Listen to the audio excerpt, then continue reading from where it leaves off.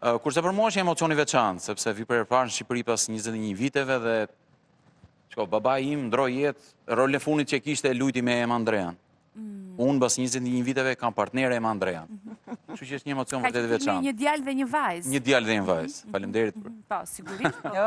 Asha, e kanë shumë uh, personazhe karakterit të tij të spikatë, pra, që më tepër që Ema në atë kohë përfaqësonte gjithë gjeneratën tonë kam përshtypjen unë në atë film, kështu që ka qenë shumë aktual si film. Mhm. Dhe të luaj me miqtë e mi, me shokët e mi, me brezin tim është sinqerisht. Bashkëpunim i mirë me Era Film Production. Bukur. Ema, flasim pak për personazhet për secilin. Ndërkohë duke shpjeguar pak edhe për subjektin që trajton ky serial edhe temat ndoshta të nxehta aktuale. Ajo që mua më tërheq shumë te ky produksion është fakti që është një prodhim artistik që i flet vendit tonë. Mhm.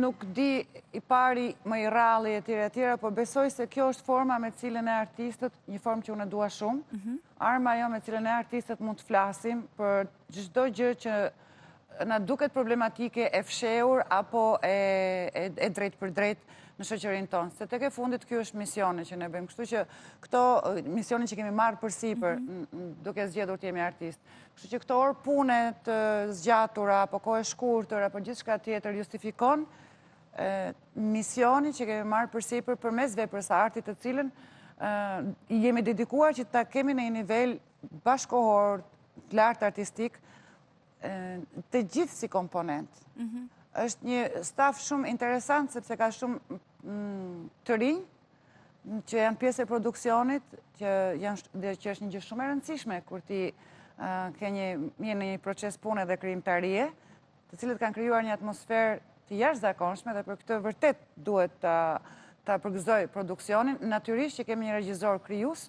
pranë, me të cilin diskutojmë si artistë, si miq, si mhm. qytetarë, përderisa të shkojmë mhm. në momentin e setit.